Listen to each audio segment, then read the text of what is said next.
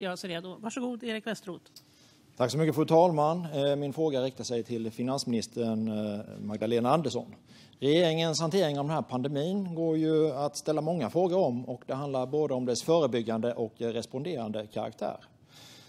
Eh, regeringen har som bekant en generell ambition att få fler att åka kollektivtrafik och istället för bilen. Och detta gör man primärt genom att beskatta och avgiftsbelägga bilister. Men regeringen verkar dessvärre då ha förbisett eh, den möjlighet som bilen har att vara en dellösning för att minska smittspridningen i framförallt kollektivtrafiken. Därför vill jag fråga om finansministern någon gång under pandemin har övervägt att eh, pausa uttaget av trängselskatter och i så fall hur har man motiverat eh, ett fortsatt uttag av skatten? Tack. Tack för det. Finansminister Magdalena Andersson, Socialdemokraterna, varsågod.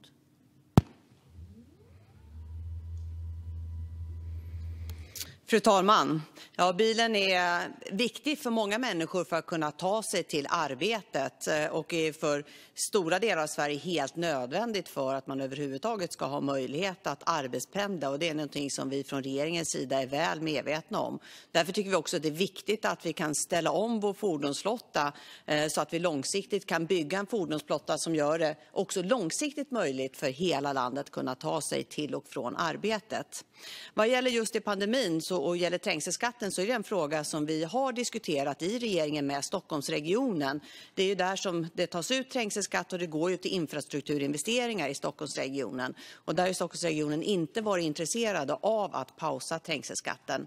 Däremot så kommer vi med den särskilda skattereduktionen, coronaskattereduktionen, som innebär att har man ökade arbetskostnader under pandemin, ja då har man också möjlighet att få det här coronareduktionen.